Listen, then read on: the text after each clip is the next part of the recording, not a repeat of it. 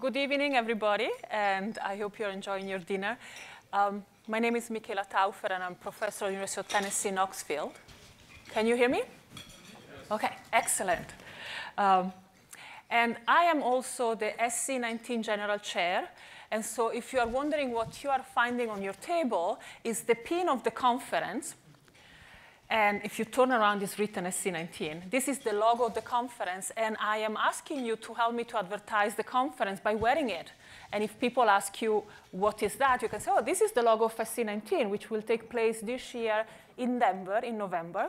And if by any chance you want still to submit work, there are deadlines that are still open, student posters, uh, doctoral showcases, a lot of opportunity for uh, you to join us in November. So I'm looking forward to seeing you there. But my talk is not about SC19. My talk is about uh, scientific application and heterogeneous uh, architecture from the data analytic point of view. And as usual, when you move on with your career and you give talks, uh, you have uh, the fortune to work with fantastic people that help you uh, to put together uh, interesting and exciting research results. And so uh, these are the people that have been uh, joining me in putting together what I'm showing you tonight. And so I want to thank them. Um, and uh, as usual, we are working in teams, all of us, and uh, we all we are so lucky to work with collaborators that, like us, share excitement for research. These are my collaborators. So let's go back to science and research. And I want to start by speaking about uh, trends. And a fourth trend that we see if we look around in HPC is uh, what is going on with uh, uh, the computers, the supercomputers we are using, and how we are using them. So if we look from the point of view of the I.O., so the writing and reading from storage, from disk, we see that there is a widening gap between the computing power of our supercomputers in terms of uh, petaflops or exaflops, and the I.O. bandwidth or the speed to move the data to storage. And this gap is becoming larger and larger. So in this picture here on your uh, left, you see that as we move from Jaguar to Titan to Summit, this gap is becoming larger and larger, which means that our computing power become more and cheaper and cheaper, easier to reach, become almost a commodity. But this computing power on our supercomputers is generating more and more data that have to face a major bottleneck, the writing and reading to disk. If we look at the type of application we are using with our supercomputers, yes, we still look at a big job that use all the nodes. Sometimes we do that. But more and more, we look at what we call ensembles of jobs. And so here on your right, you have a picture that sort of characterized what define a simulation uh, on three machines that are at Lawrence Livermore National Lab. And you see that as we move in the years from 2005 up to uh, 2018, when a user submit a simulation, he or she submit an ensemble of jobs that become larger and larger in terms of jobs.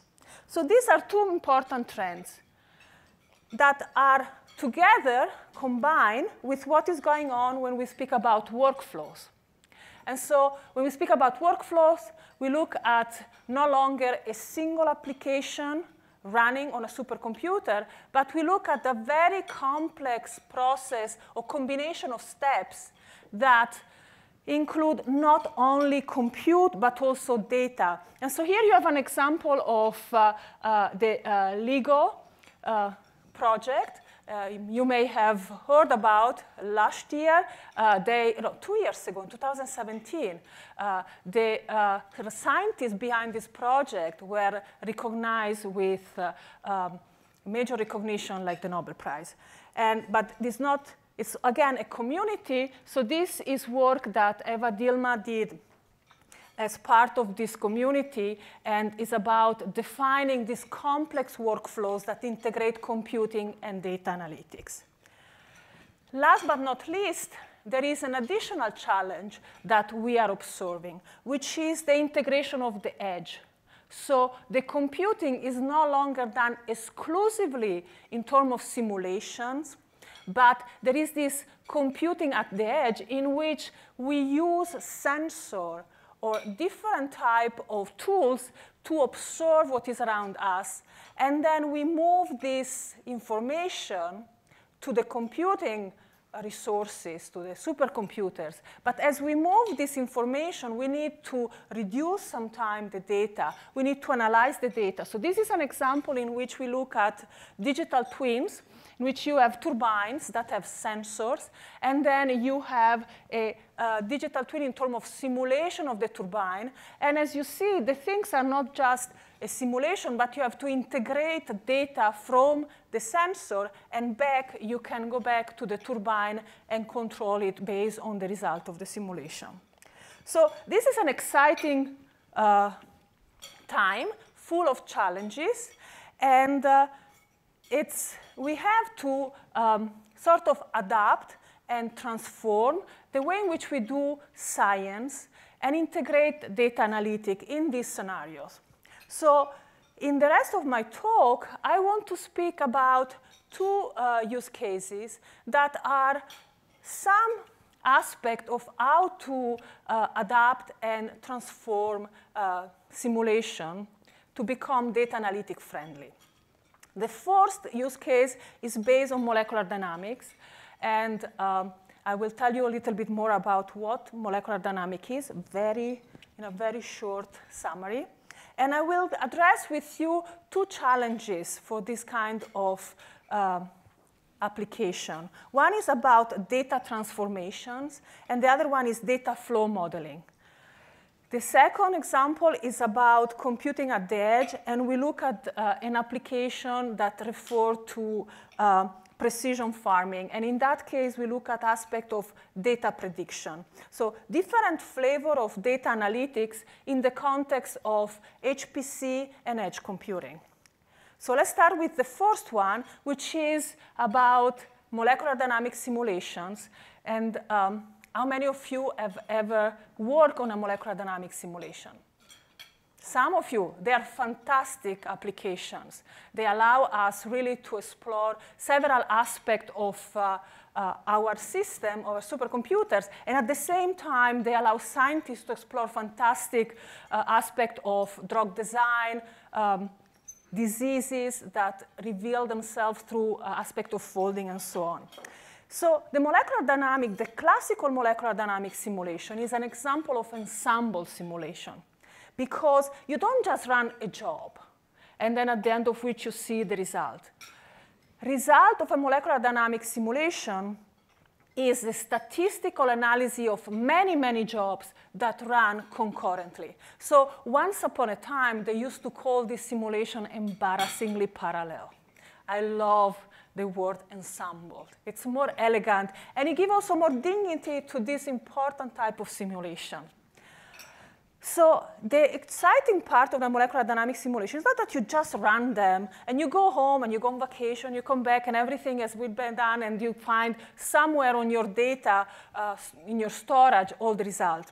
Is that as you move forwards in your simulation, sometimes jobs don't go anywhere and so you want to kill them because they are using resources.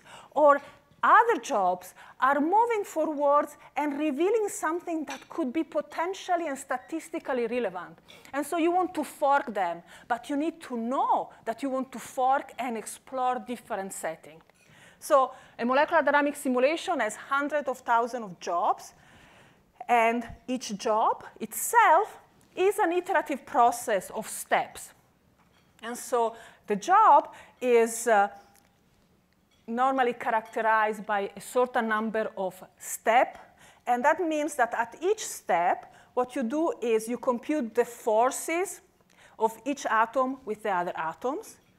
And then from these forces, you compute the acceleration of the atoms, the velocity from the acceleration, And then from the velocity, you compute the next position at the next step of your atoms, and you go back and you repeat. So there is this iterative process, and every certain number of steps, we call them stride, we need to give in output to the scientists some sort of information. Otherwise, what is the useful uh, application of MD if we don't know what is going on inside the simulation?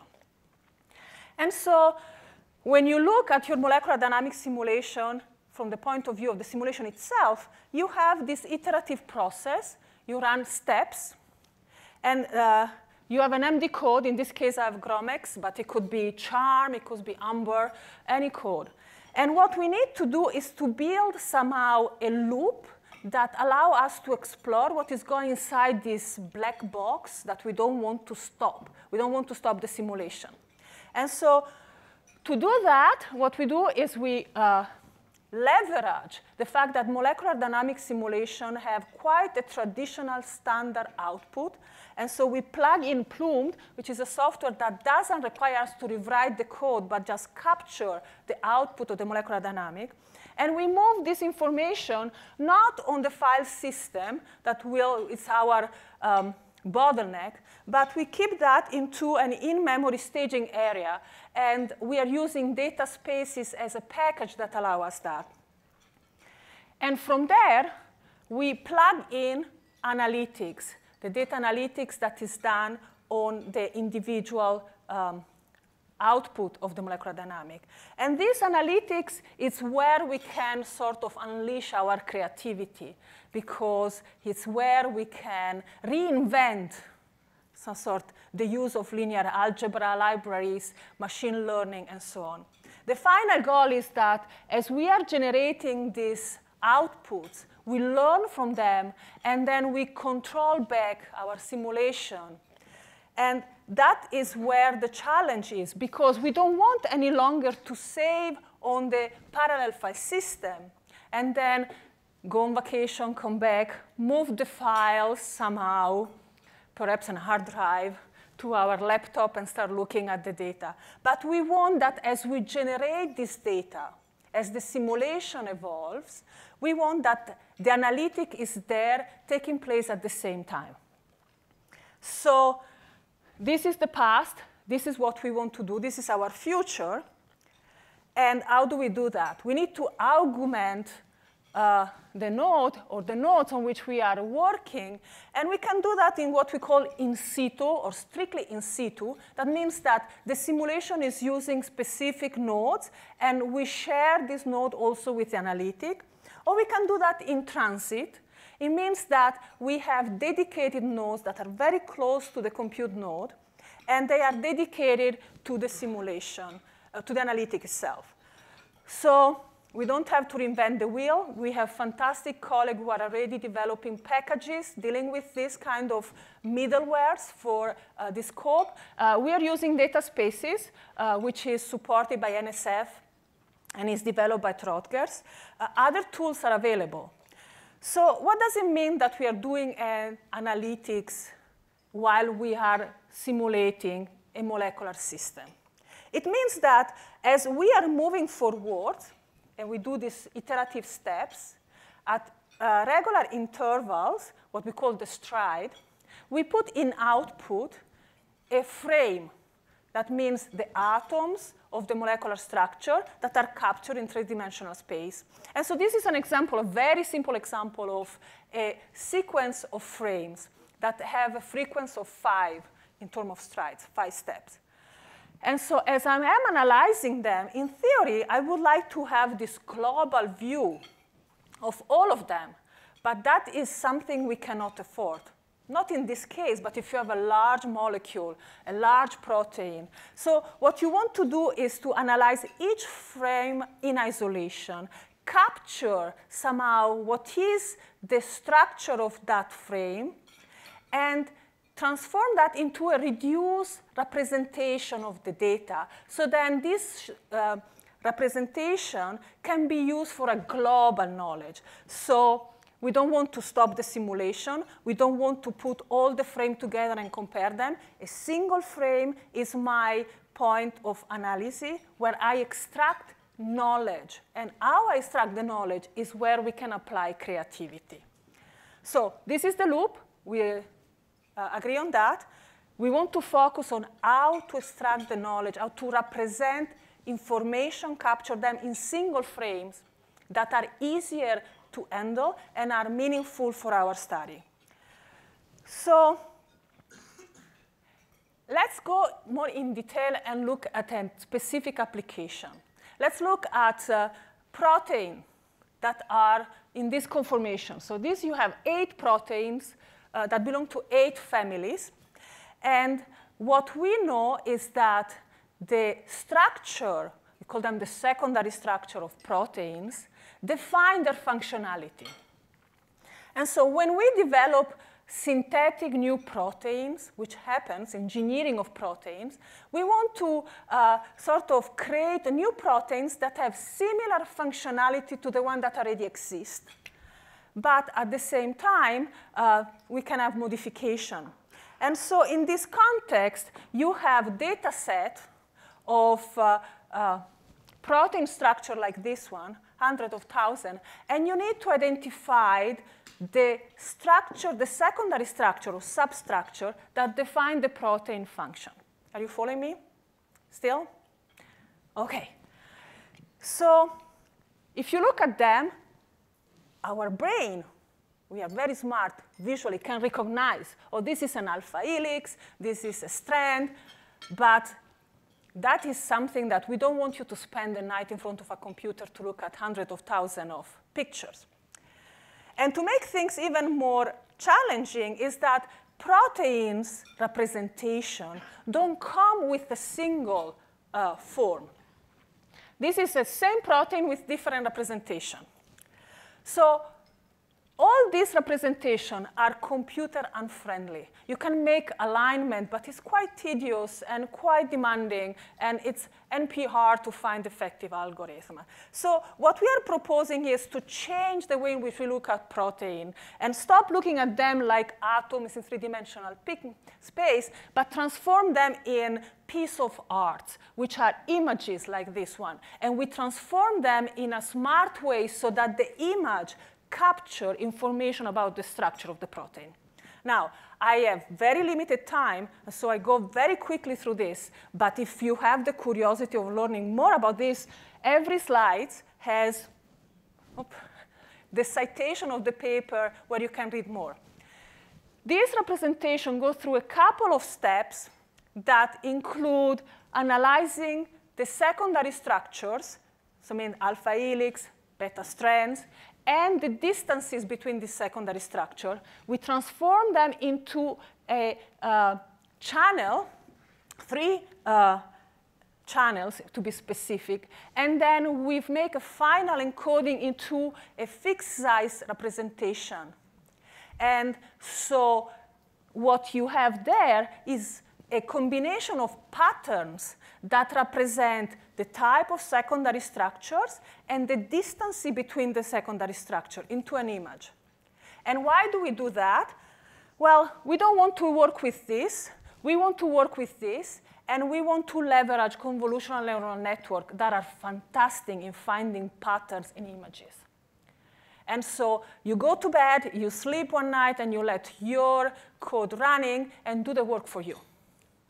And the work that the code does is recognizing, given new proteins, what family they belong to based on their structure by using a convolutional neural network. Now, on the right, you have a summary of some of the results in this paper that look at how to, uh, it has uh, a big data set of almost 63,000 molecular protein structure, and it classified them into eight classes, eight family, and based on our approach. So you see that the average accuracy of our classification, it's over 80%. So quite interesting how we transform the representation of a, a traditional representation of a protein that is easy to recognize by our eyes but not by the computer into something that leverage machine learning and is easy to identify by the computer. Now, if I go back to So this is another example of how we can apply the same approach in not apply to family of proteins, but to a protein that is evolving in its trajectory and is changing its configuration. And so what you see is a big protein that have a mapping into a larger image, but then we can zoom in in specific structure and relation between them. And so you see that as they move in the simulation, at the same time, we can also look at uh, how the picture evolves and how the pattern of this transformation evolves.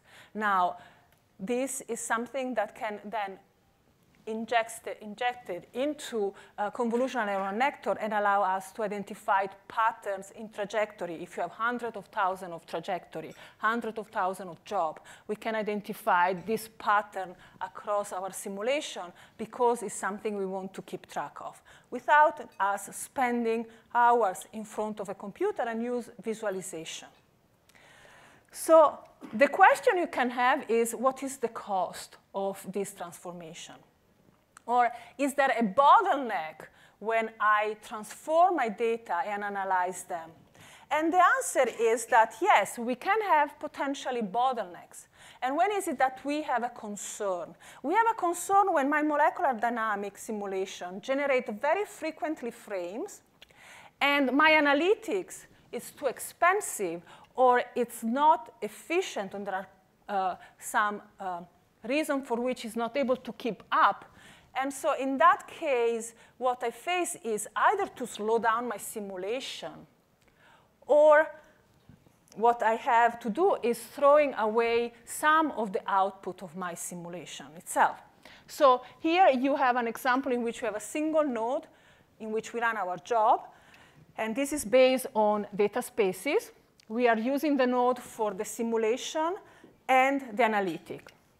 And we are looking at a scenario in which the analytic, and so the first row on your right is the simulation, in which you have simulation, write data, simulation, write data, and so on. The second row is about the analytic. It says read the information, analyze them. Read the information, analyze them. And you see here that the analysis in this case is a little bit too slow. It's not able to keep up. And so in this scenario, rather than slowing down the supercomputer, I throw away the information. And so the question is, can I throw away this information? And what are the consequences for scientists? So we move from the previous representation to an easier representation of proteins, which is in terms of distance matrices. So we have that we build distance matrices for uh, the uh, atom, the distance of atom in a molecule, and then we compute eigenvalues from these matrices. And the reason why we do this is because there has been work done by my group that show the, how eigenvalues or larger eigenvalues of these distance matrices indeed capture, is a metadata for the structure itself. And at the same time, because we work with matrices, it creates a condition in which we can sort of explore um, the cost of using the resources. And in what sense? So you have a uh, snapshot. This is a two alpha helix. Um, and you uh, can, from that, look at the uh, distances between the atom of the first helix from the second one. And in this case, you build what we say a large matrix. And this can be um, a bipartite matrix.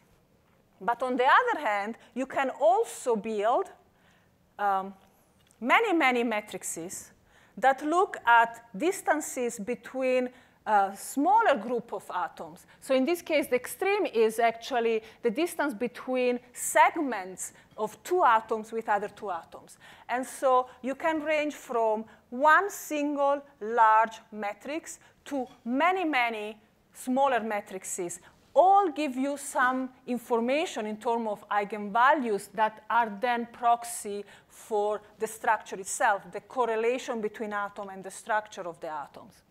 So it becomes a sort of benchmark of analytics because you have this variation in which you can run your uh, loop and look at aspect of what happens if I am analyzing a molecular structure and I'm just looking at um, relation of two set of atoms with other two set of atoms. So many, many small matrices or one, fewer larger matrices. There are two different scenarios that have different implications in terms of memory usage, computing, if we compute from them the uh, largest eigenvalue. And so with that in mind, what we want to understand is what, how can I predict how many frames am I losing or how many frames can I indeed um, analyze if I have a bottleneck, if I have that uh, uh, I'm producing too many matrices and my analytics is not able to analyze them and generate eigenvalues uh, at the same speed as they are generated. And we did that by modeling. So we took different type of molecular system. We ran uh, different experiments in which we were looking at uh, the frequency in which the matrices are generated. It is on your uh, y-axis and the matrix size. And what we were measuring in this observation was the fraction of um, frames that we were indeed analyzing. Not the one that we were generating, but the one that we are indeed analyzing. That means that we have lost some. And so we did a very simple modeling in which uh, we use a polynomial model of degree 2 uh, with quite a good R square. And we applied that uh, this is another example of uh, that show the process with errors. And we apply that to uh, frameworks that we generate. Uh, so we run molecular dynamics simulation, we generate the frames, and then we put ourselves in a condition in which we are generating too many frames and we are not able to catch up with analytics. And we observe that there is some sort of cycle and this cycle is characterized by the fact that there is a period of k and k plus 1 in which we generate frames that can be analyzed, and that this k and k plus 1 shift down. In this case, you see that it's sort of shifting in the direction. Uh, as I decrease the frequency in which I generate my uh, matrices. So stride is proxy for uh, frequency. The smaller the stride, the more I can generate matrices. And at the same time, I also gain in a number of frames that I can indeed analyze. So there is this sort of uh, trade-off in which as I generate more matrices and analyze them more frequently, I lose some of them or more of them. And as I increase the period in which I generate the matrices, I have the possibility to analyze more of them.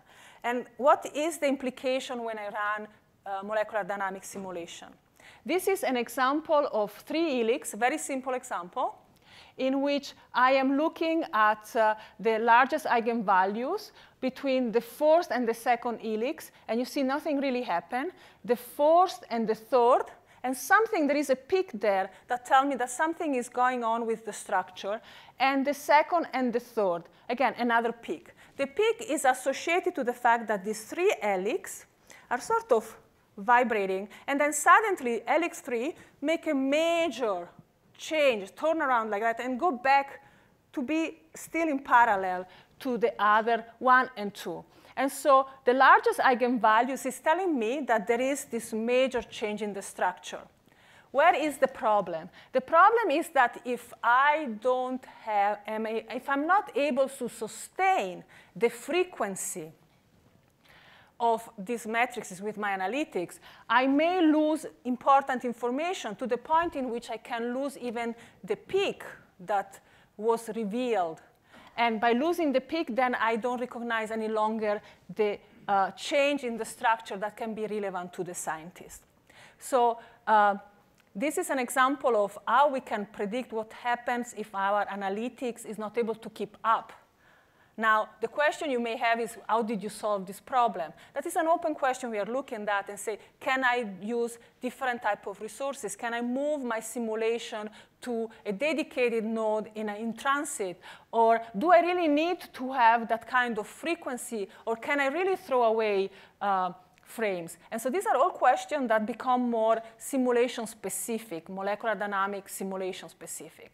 But uh, it's also important to understand that as we are sort of revealing this important approach of in situ in transit, we need to keep in mind that the analytic itself has a cost and have to keep up with the simulation.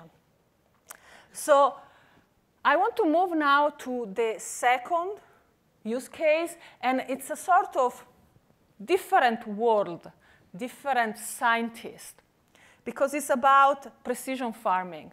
Uh, there are still aspects that are common with the first use case, which is the aspect of creating workflows that integrate analytics.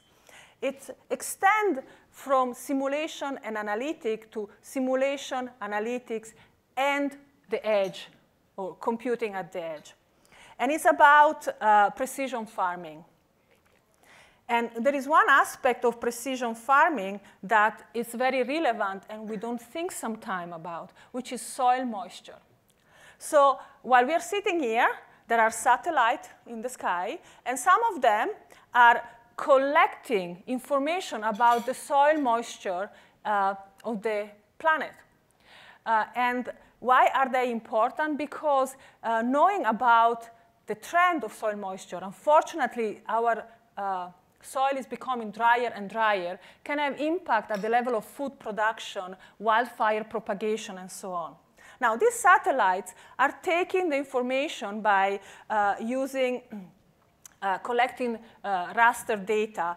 And the uh, issue with this data is that um, they are not complete. So as you see, this is a snapshot of one pass of our planet by a satellite, and you start seeing that there are a lot of gaps. And the gaps are caused for multiple reasons. So for example, over the Amazon, the satellite is not able to do a good job because of the dense vegetation, or over the Arctic and Antarctic, there are uh, challenges there because of uh, snow and ice cover. So we have a lot of gaps in this information. The other problem we have is that satellites, as they take this information, they take the mean of the soil moisture for a very large uh, piece of the land, which is normally 27 kilometers per 27.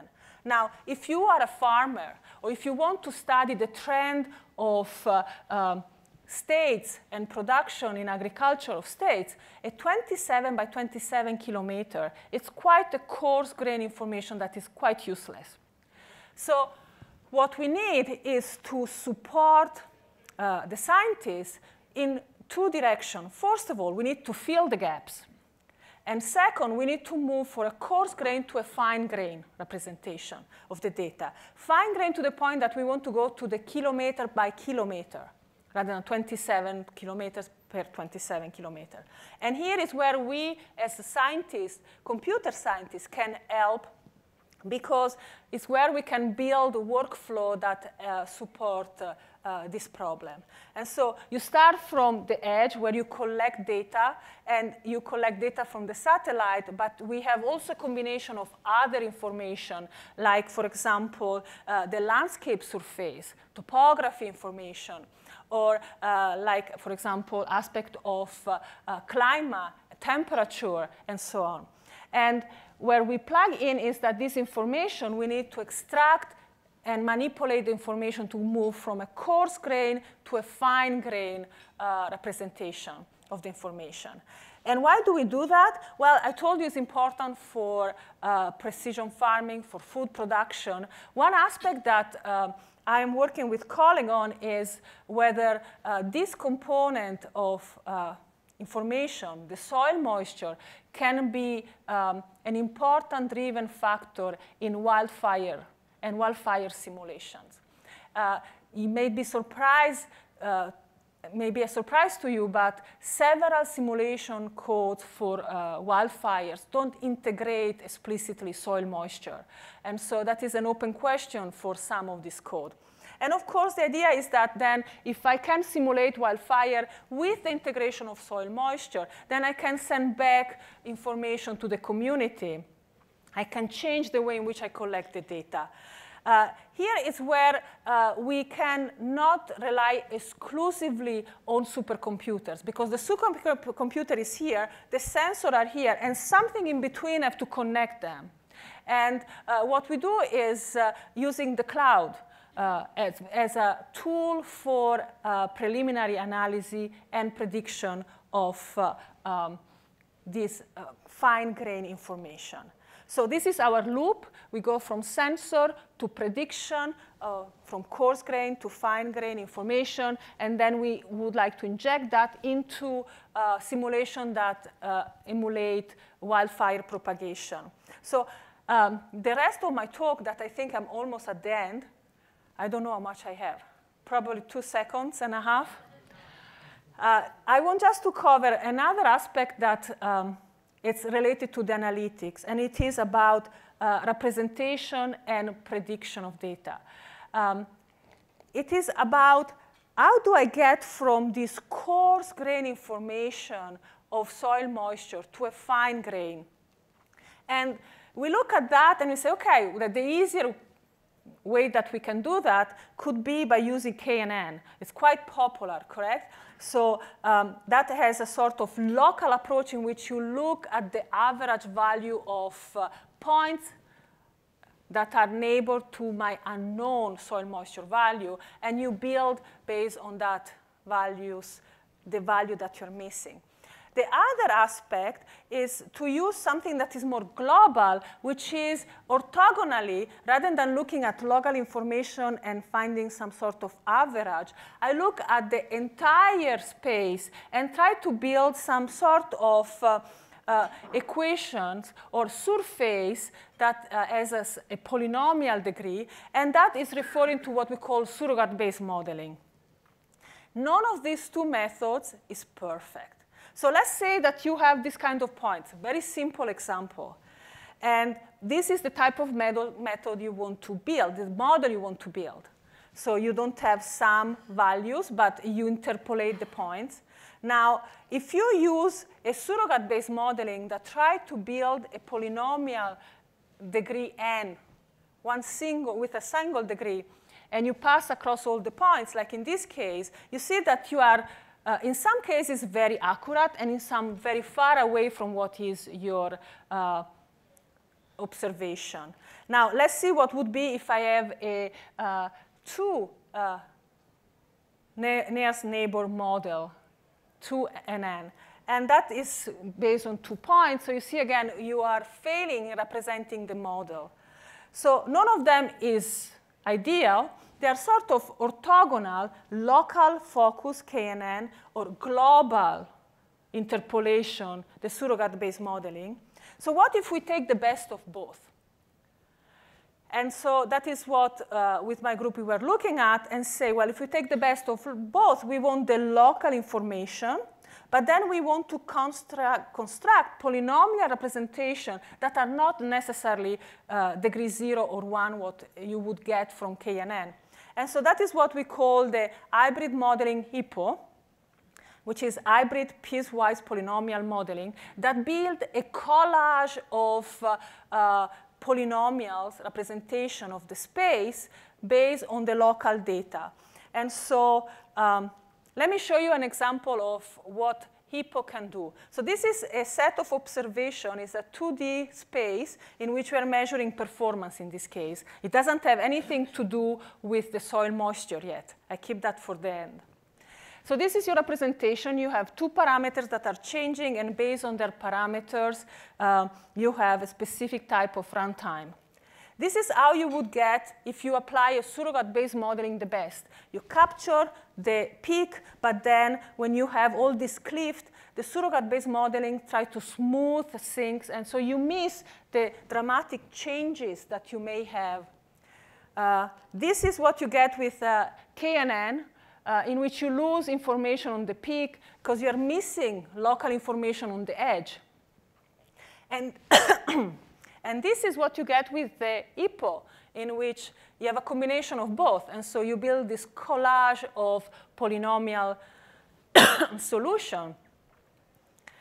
And so it's quite promising. So what we did is, based on this observation in a completely different field, which is performance analytic, we took this method and apply it to soil moisture informations. And so um, what you have here on the left is the result of a coarse, a fine grain representation. I should have put also the coarse grain. The coarse grain is a sort of points that you see depicted. And uh, I'm sorry. So you have the representation of HIPPO, and on the right, you see uh, a fact that show you the type of degree of the polynomial you are building.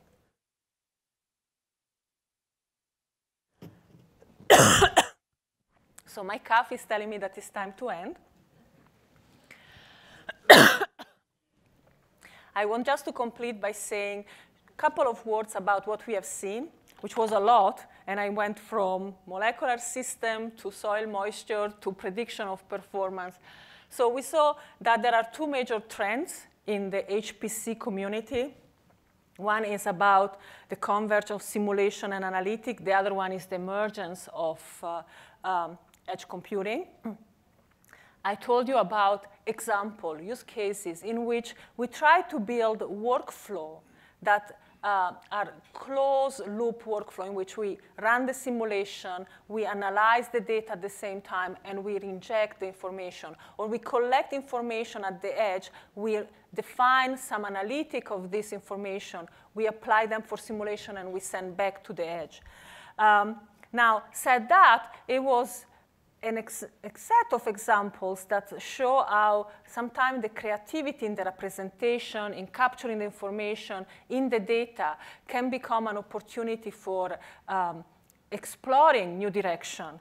Uh, that is definitely not the solution of the uh, problems we have with data analytics.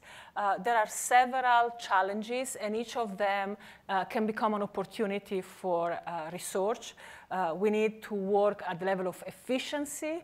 Uh, we saw a couple, an example in which uh, when we are not efficient in analyzing, we lose information.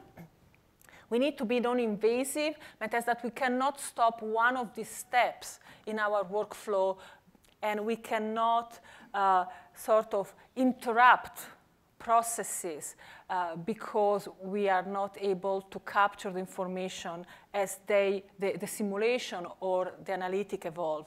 We need to be general. So we build workflows and um, they have uh, aspects that are application driven, but still we need to be able to reuse component. Uh, portability across system. Summit is already old, almost, I think. We, we, are speaking about a new platform. That will be a challenge. Uh, so are our solution portable across uh, multiple platforms that are transforming? And scalability, we need to scale to large problems. So these are my challenges. I think that each of them can become interesting opportunity for collaboration. What are your challenges? That, that is something we can discuss after my talk. Thank you.